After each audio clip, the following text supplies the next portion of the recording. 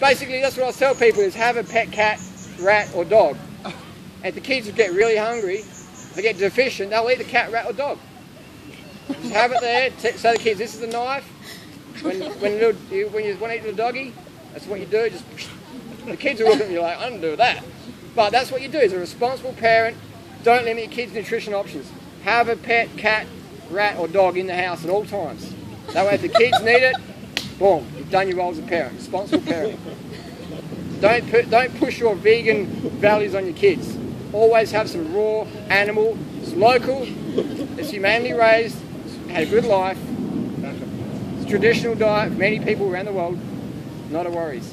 And then you're sorted. Then you have to worry about it. The kids are hungry enough, they'll eat it. Otherwise, I'll just stick with the plants.